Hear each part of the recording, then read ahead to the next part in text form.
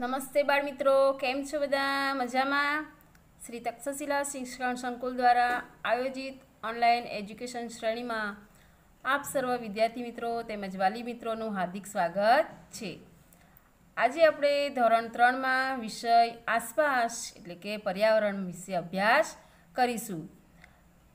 આપણે પ્રકરણ એક જોયું, પછી પ્રકરણ પ્રકરણ બેમાં ભાગ એક વિશે પણ શીખી ગયા છે આજે આપણે પાઠ બેમાં, વનપરીમાં, આગળનો અભ્યાસ એટલે કે પાઠ બેમાં ભાગ બીજો આગળ અભ્યાસ ચાલુ કરીશું. તો જુઓ વિદ્યાર્થી મિત્રો, ભાગ એકમાં આપણે વનપરીમાં બાળકો બગીચામાં રમવા ગયા હતા, બરોબર? તો એમાં તેમને ઘણા વૃક્ષો, છોડ એ બધું જોયું, વનપરીની રમત રમ્યા પછી બધા પાંદડા ભેગા કર્યા, દરેકના રંગો, આકારો, કિનારી અલગ અલગ હોય છે, એના વિશે આપણે અભ્યાસ કર્યો હતો. ત્યાર પછી એ લોકોએ એ પાંદડાની છાપ મેળવી હતી, થડની છાપ મેળવી હતી, એના વિશે પણ આપણે અભ્યાસ કર્યો હતો, બરાબર? યાદ આવ્યું ને કે ભૂલી ગયા છો? હા, તો આપણે એ થડની છાપ કેવી રીતના લીધી, કેવા થડની છાપ મળે ખરબચડી અને ઉપસેલી સપાટી જે થડની હોય તેની છાપ સારી મળે છે. લીસી અને ચીકણી હોય તેવી આ થડની છાપ સારી મળતી નથી. બરાબર? એટલું આપણે શીખી ગયા. ત્યાર પછીનો આપણે આગળનો અભ્યાસ જોઈએ. તો અહીંયા આગળ, વિદ્યાર્થી મિત્રો, તમારી પાસે પાઠ્યપુસ્તક હોય આસપાસનું, તો એમાં ધ્યાન આપો. તો એમાં તમને પાન નંબર સત્તર ઉપર ચિત્ર આપેલું છે. તો એમાં એ ચિત્રો જુઓ, ચિત્રમાં શું શું દેખાય છે, તેના નામ લખો. ચિત્ર ઉપરથી આપણે નામ લખવાના છે કે આ ચિત્રમાં શું આપણને દેખાય છે. તો જોઈએ આપણે ચિત્રમાં તો પહેલાં તો અહીંયા આગળ એક દિવાલ ઉપર ફોટો ફ્રેમ કમળના ફૂલની છે. એટલે આપણે શું કહીશું કે આમાં આપણને ફોટો ફ્રેમ દેખાય છે. ત્યાર પછી શું દેખાય છે? આ બારી છે. અને બારી ઉપર પડદો છે. પછી શું દેખાય છે? આ એક સેટી પલંગ છે. એમાં બે તકિયા છે. એક છોકરી પુસ્તક વાંચતી દેખાય છે. નીચે ગાલીચો છે. બરાબર? એ બધું આપણને આ ચિત્રમાં દેખાય છે. તો તમને પુસ્તકમાં નીચે બોક્સ આપેલા છે. તો એ બોક્સમાં તમારે બધાના નામ લખવાના છે કે તમે ચિત્રમાં શું જોયું? તો આપણે ચિત્રમાં જોયું હતું ને કે ફોટો ફ્રેમ છે દિવાલ ઉપર, પડદો, પલંગની ચાદર તકીઓ ગાલીચો અને પુસ્તક વાંચતી છોકરી, બરાબર? આપણે ચિત્રમાં આ બધું જોયું હતું. તો તમારી પાસે ચોપડી હોય અને આ બોક્સ ખાલી છે, તે ખાલી બોક્સમાં બધાના નામ લખી દેવાના છે, બરાબર? ચાલો આગળ જોઈએ. વિચારો અને લખો. ઘરમાં જે વસ્તુ ઉપર પર્ણો અને ફૂલોની છાપ હોય તેમના નામ લખવાના છે. આપણા ઘરમાં ફૂલો અને પાંદડાની છાપ હોય, ડિઝાઇન હોય, તેના નામ લખવાના છે. તો આપણા ઘરમાં ગાલીચા હોય, તકિયા હોય, બારીના પડદા હોય, પલંગની ચાદર હોય, બરાબર? આ બધા આપણે કેવા ડિઝાઇનવાળા લઈએ છીએ? ફૂલો હોય, પાંદડા હોય, એવી ડિઝાઇનના હોય તો એ સારા લાગે છે. આકારોવાળા લઈએ તો એટલા બધા ઉઠાવ આવતા નથી. એટલે બધા કેવા લઈએ છીએ? આપણે ફૂલો અને પાંદડાની છાપ હોય તેવા લઈએ છીએ. આપણા ઘરમાં પડદા, તકિયા અને ગાલીચા બધું ફૂલોની છાપવાળા લઈએ છીએ. ત્યાર પછીનો પ્રશ્ન છે, તમે જોયેલા કેટલાક વૃક્ષના નામ લખો. તો આપણે ઘણા બધા વૃક્ષો જોયા છે બરાબર? અમુકના નામ આપણને આવડતા હશે ને અમુકના ના આવડતા હોય. પણ અમુક વૃક્ષોને આપણે ઓળખી જ જઈએ છીએ. કે આસોપાલવના પાન જે તોરણ બાંધવા માટે વપરાય છે, બરાબર? તો એને પણ આપણે ઓળખી શકીએ છીએ કે આસોપાલવનું વૃક્ષ છે. ત્યાર પછી બાવળ. તો બાવળનું દાંતણ કરવામાં આવે છે. કાંટાળા બાવળ હોય, બરાબર? એના કાંટા કેવા હોય? મોટા હોય. અને એનો ઉપયોગ દાંતણ કરવા માટે થાય છે. પછી છે લીમડાનું વૃક્ષ. આ વૃક્ષ તો બધાએ જોઈ જ હોય. તો લીમડાના વૃક્ષના પાન, એનું લાકડું એ બધું ઔષધિ તરીકે કામમાં આવે છે. તેના લાકડા પણ ફર્નિચર બનાવવા માટે કામમાં આવે છે. ત્યાર પછી છે વડ, બરાબર? વડની વડવાઈઓ હોય, વડના ટેટા હોય. જોયા છે ને વડના વૃક્ષો? એ જ્યાં હિંચકા બાંધવામાં આવે છે ગામડાઓમાં. ત્યાર પછી પીપળો. તો પીપળાના પાન પૂજા માટે ઉપયોગમાં લેવામાં આવે છે. ત્યાર પછી બોરડી. જ્યાં બોર ઉગતા હોય. પછી ચીકુડી, એ પણ આપણને ફળ આપે છે ચીકુનું. ત્યાર પછી કણજી, આ પણ તમે રોડ ઉપર ઘણી જગ્યાએ જોયા હશે. તો કણજી પણ દવાના ઉપયોગમાં કામમાં આવે છે. તેનું દાંતણ કરવાથી તમારા દાંત મજબૂત થાય છે અને સડો થતો નથી. દાંત દુખતા હોય ત્યારે તેના પાનનો રસ વાટીને તમે દાંતમાં લગાવો તો તમને દુખાવો મટી જાય છે. તો બાળકો આ બધા વૃક્ષોના મેં ઉપયોગો કીધા. તમારી પરીક્ષામાં આને કીધા પૂછવામાં આવે કે આ બધા વૃક્ષોનો શું ઉપયોગ થાય છે. તો તમારે આ બધા વૃક્ષોનો ઉપયોગ લખી શકો કે ભાઈ આસોપાલવનું તોરણ બંધાય, બાવળના લાકડાનું એનું દાંતણ કરવામાં આવે, બરાબર? આ રીતે તેના, તમે તેના ઉપયોગો પણ બતાવી શકો છો. ત્યાર પછીનો પ્રશ્ન જુઓ. શું કોઈ એવા છોડ છે જે વિશે તમે સાંભળ્યું છે એ પણ જોયા નથી? તમે તમારા મમ્મી, પપ્પા કે દાદા, દાદી પાસે આ નામ સાંભળ્યા હશે, પણ આ વૃક્ષો તમે ક્યારેય જોયા નથી? કારણ કે નજીકમાં ના ઉગતા હોય, બરાબર? કે આ ધતુરો, આંકડો, બીટ, તુલીપ, સૂર્યમુખી, કેક્ટસ, બોન્સાઈ અને આ પથ્થરવેલ. તો આ તુલીપ ને કેક્ટસ ને બોન્સાઈ ને બધા કેવા છે? સોપીસો પીસો સો પીસો એટલે ખાલી દેખાય, દેખાવા માટે સુંદર દેખાવા માટે આપણે કુંડામાં તે રોપીએ છીએ. જ્યારે આ ધતુરો, આંકડો અને બીટ બીટ તો તમે ખાવામાં લો છો ને? હા. તો એના પણ પણો તમે કદાચ ના જોયા પણ એ નામ એનું સાંભળ્યું હોય. તો ધતુરો એ ભગવાનને ચડાવવામાં આવે છે, આંકડાના ફૂલ પણ હનુમાન દાદાને ચડાવવામાં આવે છે. ત્યાર પછી છે પથ્થરવેલ. તો આ પણ એક સો પીસ છે, બરાબર? અને સૂર્યમુખી. એ પણ તમે છે કદાચ કોઈના ઘરે કોઈ બગીચામાં સૂર્યમુખીનો છોડ તમે જોયેલો હશે. ચાલો હવે આપણે આગળ જોઈએ. શોધો અને કહો. તો અહીંયા આગળ તમને પ્રશ્ન લખ્યો છે કે વડીલોને અત્યારે જોવા મળતા ન હોય તેવા વૃક્ષો વિશે પૂછો. તો આપણા બા, દાદા હોય, એ લોકોને તમારે પૂછવાનું કે તમે જ્યારે નાના હતા, ત્યારે તમે કયા વૃક્ષો જોયેલા હતા? જ્યારે તમે ગામડામાં રહેતા હોય કે શહેરમાં રહેતા હોય, ત્યારે વૃક્ષો જોયા હોય ને અત્યારે જોવા મળતા નથી. તો એ વૃક્ષો કયા કયા છે? તો તમને તમારા વડીલો કહેશે કે અમે મહોડો ઉમરો, કદમ, શેમલ અને રાયણના વૃક્ષો પહેલાં જોવા મળતા હતા. અત્યારે જોવા મળતા નથી. ત્યાર પછી આપણે વડીલોને બીજો પ્રશ્ન પૂછવાનો છે કે કયા વૃક્ષો અત્યારે છે જે પહેલાં ન હતા? બરાબર? પહેલાં એ વૃક્ષો નહોતા અને અત્યારે વધારે જોવા મળે છે. તો એવા વૃક્ષો કયા છે? ક્રિસમસ ટ્રી, તુલીપ, જુદા જુદા રંગના ગુલાબ બોન્સાઇઝ અને કેક્ટસ. કેક્ટસ એટલે ફાફડા થોડી એને એવું નામ આપવામાં આવ્યું છે. જે કાંટા કાંટાવાળું જોયું છે ને? હા, એને કેક્ટસ કહેવાય.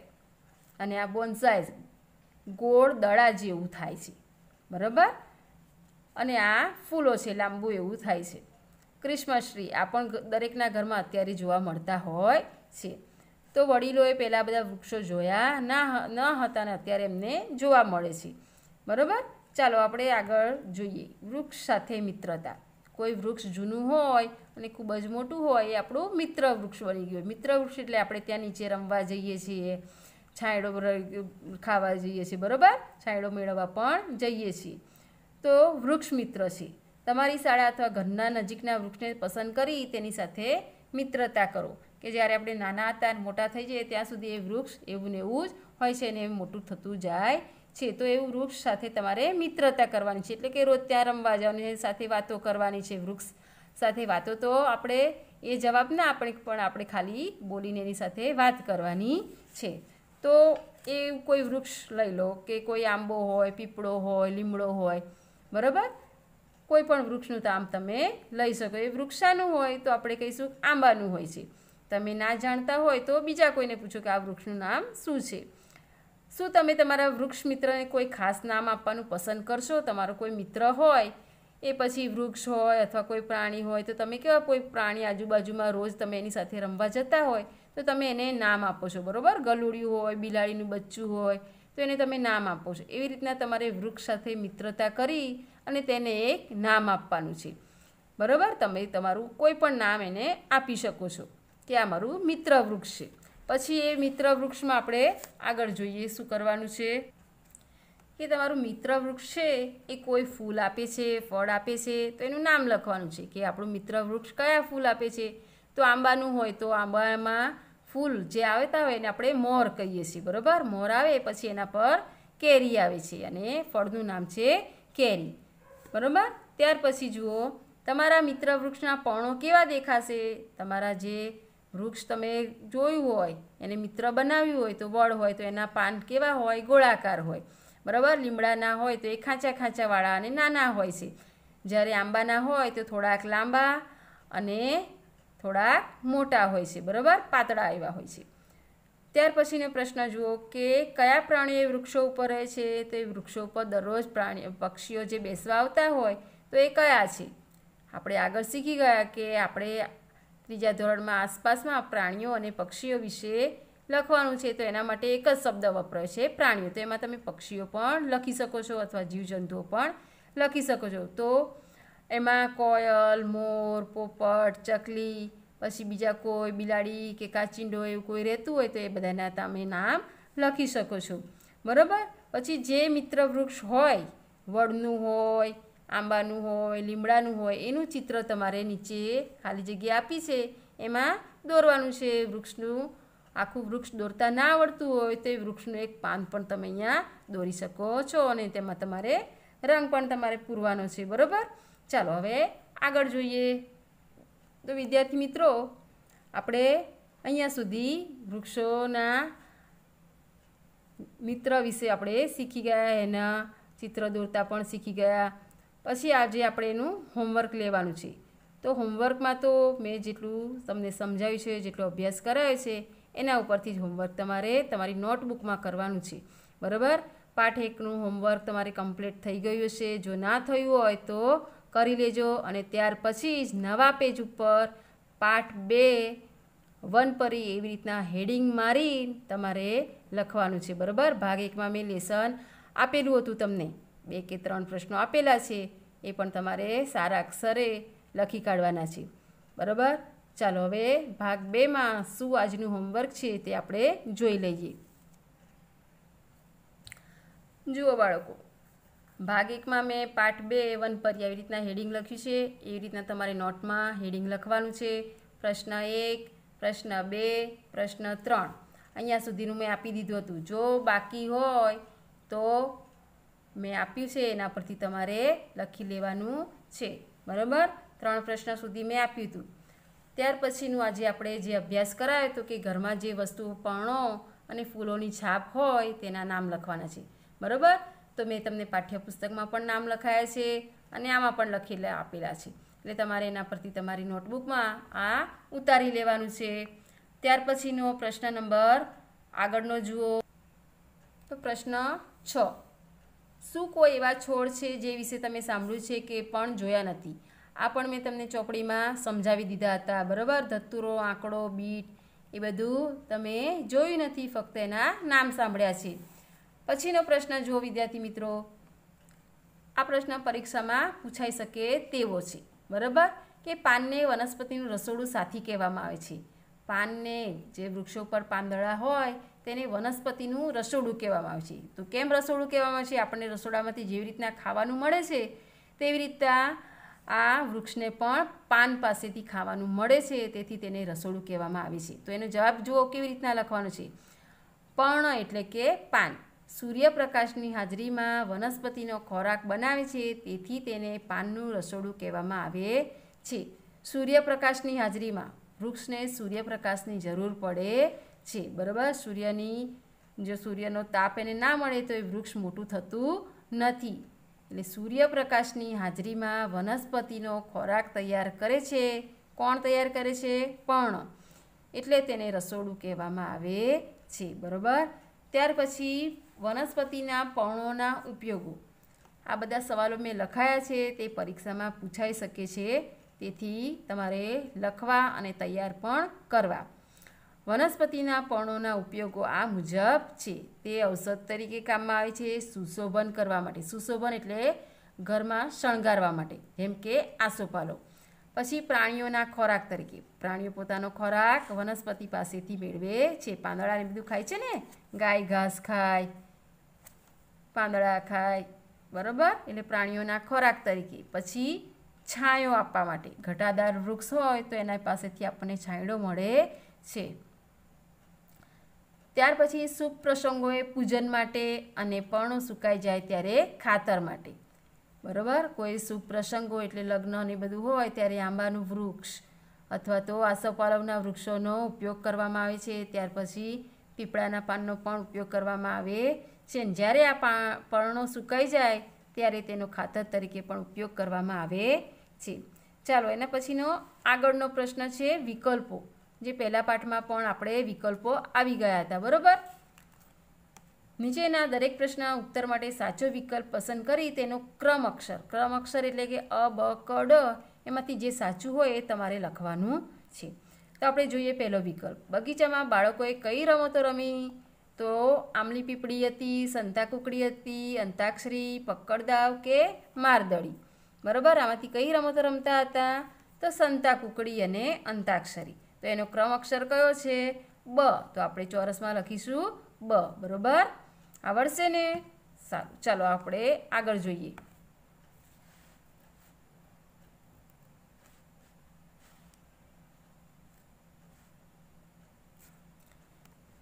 વનપરીના કહેવા મુજબ, છોકરીઓ કયા છોડને અડકી? ગલગોટો, જાસ્મીન મહેંદી અને લીમડો મહેંદી અને ઘાસ કે આંબો અને લીમડો. તો કયા છોડને અડકી? ગલગોટો અને જાસ્મીન. તો એનો ક્રમ અક્ષર અ છે. તો આપણે ચોરસમાં અ લખવાનો છે. ત્યાર પછી જુઓ ત્રણ નંબરમાં. દીદી બગીચામાં કોના પર બેઠી હતી? બાકડા પર, ઘાસ પર, ફૂલ પર કે ઝાડ પર? તો દીદી ઘાસ ઉપર, એટલે કે ક કયો છે ક્રમ અક્ષર ક. તો આપણે લખવાનો ચોરસમાં ક. ચોથા નંબરનું જુઓ. જેનું થળ ખૂબ જ મોટું હોય તેવું ઝાડ કયું છે? લીમડો, આંબો આસોપાલવ કે વડ. બરાબર? આ ચાર વિકલ્પો આપેલા છે તમને. એમાંથી જે સાચો હોય એ તમારે લખવાનો છે. તો જેનું થળ ખૂબ જ મોટું હોય તે કયું છે આમાંથી? તો વડ. બરાબર? અહીંયા આગળ ક્રમ અક્ષરમાં શું લખવાનું છે? ડ.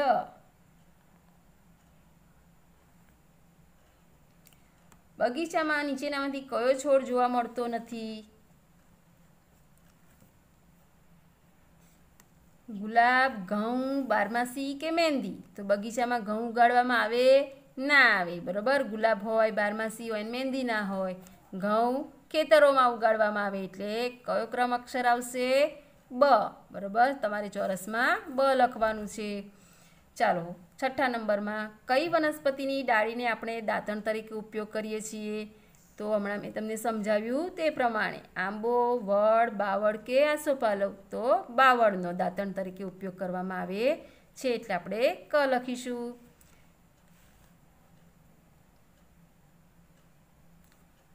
ઔષધ તરીકે ઉપયોગી વનસ્પતિ કઈ છે?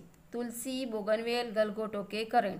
જુઓ બોગનવેલ ગલગોટો અને કરેણ. આ ત્રણેય ફૂલોના નામ છે, બરાબર? તો તુલસીનો ઔષધ તરીકે ઉપયોગ કરવામાં આવે છે, એટલે આપણે ક્રમ વિભાગમાં અ લખીશું. પ્રશ્ન નંબર દસ. યોગ્ય શબ્દો વડે નીચેની ખાલી જગ્યા પૂરવાની છે. ખાલી જગ્યા સપાટીવાળી વસ્તુની છાપ સારી રીતે પાડી શકાય છે. બરાબર? એક નંબરની ખાલી જગ્યામાં શું છે? ખાલી જગ્યા સપાટીવાળી વસ્તુની છાપ સારી રીતે પાડી શકાય છે. તો કેવી સપાટી? ખરબચડી. લીસી સપાટીમાં છાપ સારી પાડી શકાય નહીં. એટલે આ ખાસ યાદ રાખજો કે ખરબચડી. ચાલો બીજા નંબરનું જોઈએ. પલંગ પર પથરાતી ખાલી જગ્યા પર ફૂલ પાંદડાઓની છાપ વધુ જોવા મળે છે. તો પલંગ ઉપર શું પાથરવામાં આવે? ચાદરો. જે ચાદર પાથરવામાં આવે, તેને પર ફૂલો અને પાંદડાની છાપ વધારે જોવા મળે છે. ત્યાર પછી ત્રીજા નંબરનું, જેના પાન નાના પાતળા અને કિનાર દાંતાવાળી હોય તે વૃક્ષ કયું છે? લીમડો, કે જેના પાન નાના હોય છે, પાતળા હોય છે અને એની કિનાર અણી દાંતા દાંતાવાળી હોય છે. બરાબર? ચાલો. ત્યાર પછી ચોથા નંબરની ખાલી જગ્યા, ખાલી જગ્યાના પાન, ચામાં નાખવાથી સ્વાદ સારો આવે છે. કોના પાન? ફુદીનાનો. જે પાણીપુરીમાં વપરાય છે ને ફુદીનો? હા, તે ચામાં પણ નાખી શકાય છે. તો ચા સરસ બને છે. ત્યાર પછી આવે છે છઠ્ઠા નંબરની. વડ, લીમડો, આંબો, બાવળ વગેરે વનસ્પતિને ખાલી જગ્યા કહે છે. આ બધા ઘટાદાર એટલે ખૂબ જ મોટા વૃક્ષો કહેવાય. બરાબર? એને ઝાડ અથવા વૃક્ષો પણ કહેવાય છે. નાના હોય તો એને છોડ કહેવાય. મેં તમને આગળ શીખવાડી દીધું ભાગ એકમાં. કે જે જેની ઊંચાઈ ઓછી હોય, પ્રકાંડ નાનું હોય, તેને છોડ કહેવાય. જેનું થડ મોટું હોય, ઊંચા હોય, તેને વૃક્ષો કહેવાય. અને જેને આધાર આપવો પડે, લાકડી અને અથવા તો દોરી વડે બાંધી ઊંચે લગાવવામાં આવે, તેને વેલા કહેવામાં આવે છે. બરાબર? ચાલો, હવે એના પછીનું જોઈએ સાત નંબરનું. વનસ્પતિના ખાલી જગ્યાનો રંગ લીલો હોય છે. વનસ્પતિના કયા ભાગનો રંગ લીલો હોય છે? પાંદડાનો, બરાબર? તો આપણે શું લખીશું ખાલી જગ્યામાં? પાન. ચાલો, એના પછી અગિયારમાં નંબરનું જોઈએ. ખરા ખોટા કરો. પ્રશ્ન નંબર અગિયાર. નીચેના વિધાનો સાચા છે કે ખોટા તેની સામે યોગ્ય નિશાની કરો. તો આપણે એક નંબર જોઈએ. બગીચામાં બાળકોએ આંબલી પીપળીની રમત રમી. સાચું કે ખોટું? કઈ રમત રમી હતી? સરસ સંતા કુકડીની. એટલે આ વાક્ય કેવું થશે? ખોટું, બરોબર? ચાલો, બીજા નંબરનું જોઈએ. બાળકો, વનપરીની રમત રમતા હતા તે બગીચામાં લીમડો, મહેંદી અને જાસ્મીન નામની વનસ્પતિ હતી, બરાબર? સાચું ને? હા, તો આપણે આ વાક્ય સાચું કરીશું. ત્રણ નંબરનું, ગુલાબના છોડનું થડ જાડું હોય છે. સાચું ખોટું? ખોટું. દરેકના ઘરે ગુલાબનો છોડ હશે તો એનું થડ જાડું છે પાતળું? કુંડામાં વાઈએ એટલે એ કેવું હોય? પાતળું હોય. એટલે આપણે ખોટું કરીશું. ચોથા નંબરનું, પીપળાના વૃક્ષના પાન નાના પાતળા અને દાંતાવાળા હોય છે, તો આ વાક્ય પણ ખોટું થશે. બરાબર? પીપળાના પાનના આકાર કેવો હોય છે? પાન થોડાક મોટા હોય, પણ એના દાંતાવાળા હોતા નથી. આડી અવળી કિનારી હોય છે. ચાલો આપણે આગળ જોઈએ. પાંચમા નંબરનું, મુલાયમ અને ચીકણા થડની છાપ સારી ઉપસે છે. તો આ વાક્ય કેવું કહેવાશે? ખોટું. કેવા પાનની છાપ સારી થાય છે? ખરબચડી, બરાબર? ચાલો, છઠ્ઠા નંબરનું. દરેક પાનનો આકાર, રંગ અને કિનાર જુદી જુદી હોય છે. તો આ વાક્ય કેવું થશે? સાચું. દરેકનો આકાર સરખો હોતો નથી. સાતમા નંબરનું, લીમડાના પાન કડવા હોય છે. તો આ વાક્ય કેવું લાગે? સાચું. આ તો દરેકને ખબર હશે કે લીમડો કડવો લાગે છે, બરોબર? ચાલો, એના પછીનો પ્રશ્ન નંબર આગળનો જુઓ. નીચેની વનસ્પતિનું વૃક્ષ છોડ અને વેલામાં વર્ગીકરણ કરો. તો અહીંયા આગળ બધાના નામ આપેલા છે વૃક્ષોના, છોડના અને વેલાના ભેગા આપ્યા છે. તમારે એને અલગ કરવાના છે, બરાબર? તો અહીંયા આપણે જોઈએ. ત્રણ ભાગ પાડવાના છે. આપણે શેમાં વર્ગીકરણ કીધું છે? વર્ગીકરણ એટલે ત્રણેયને એના ભાગ પ્રમાણે વેચો. વૃક્ષને અલગ ભાગમાં છોડને એના છોડવાળા ભાગમાં અને વેલાને વેલાવાળા ખાનામાં લખવાનું છે. તો જોઈએ આપણે પીપળો. તો પીપળાનું મોટું વૃક્ષ હોય તો વૃક્ષની નીચે લખવાનું પીપળો. ત્યાર પછી આંબલી. તો આંબલીનું પણ મોટું વૃક્ષ હોય. બરાબર? એવી રીતના તમારે લેવાનું છે. ત્યાર પછી ગુલાબ. તો ગુલાબ શેમાં આવશે? છોડમાં. ત્યાર પછી મોગરો. એ પણ છોડમાં. કારેલી તો એનો વેલો થાય, પછી બોરડી તો એ શેમાં આવશે? વૃક્ષમાં. બરાબર? બોરડીનું મોટું વૃક્ષ હોય. ત્યાર પછી શક્કરટેટી તો એનો વેલો હોય, બોગનવેલ એનો પણ વેલો હોય, આસોપલવ તો એનું મોટું વૃક્ષ હોય, આંબો એનું પણ વૃક્ષ હોય, તુલસી તો એનો છોડ હોય, બારમાસી, છોડ, વટાણા તો વેલો, પપૈયો તો શેમાં આવશે? વૃક્ષમાં, બરાબર? આમ તો એક ક્ષુપ વનસ્પતિ કહેવાય. પણ અહીંયા આગળ આપણે ક્ષુપમાં વર્ગીકરણ નથી કરવાનું, એટલે આપણે વૃક્ષમાં લખીશું. ક્ષુપ એ કેવી વનસ્પતિ કહેવાય? બહુ નાની નહીં, બહુ મોટી નહીં, બરાબર? એટલે તમારે આગળના ધોરણમાં ભણવાનું આવશે. અત્યારે આપણે એને વૃક્ષમાં ગણતરીમાં લેવાનું છે. ત્યાર પછીનું જુઓ, વડ. તો એ વડનું મોટું વૃક્ષ હોય, બરાબર? એટલે આપણે વડના ખાનામાં લખીશું. પછી ગલગોટા તો એનો છોડ હોય. બરાબર? દૂધી, તો વેલો. દ્રાક્ષ એ પણ વેલામાં. ટિંડોળા વેલામાં. ચણા છોડમાં. નારિયેળી વૃક્ષમાં. લીમડો તો વૃક્ષમાં. બરાબર? ખબર પડી ગઈ વર્ગીકરણ કેવી રીતના કરવાનું? તો વિદ્યાર્થી મિત્રો, આજનું આ લેસન તમારે સુંદર અક્ષરે તમારી નોટમાં પૂરું કરી નાખવાનું છે, બરાબર? આજનો આપણો બીજા બીજો પ્રકરણ, કે બીજો પાઠ, એનો ભાગ બે અહીંયા આગળ પૂર્ણ થાય છે. નવા પાઠ સાથે આપણે આગળના પીડીઆરમાં ફરી મળીશું. ત્યાં સુધી આવજો.